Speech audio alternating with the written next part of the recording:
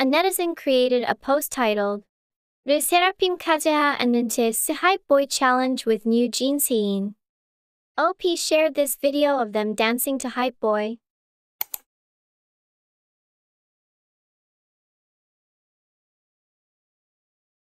Netizens commented, They're cute. I love new jeans and their so much these days.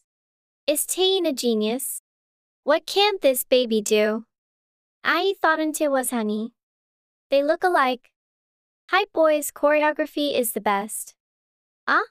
All the kids I love are gathered here. They're pretty.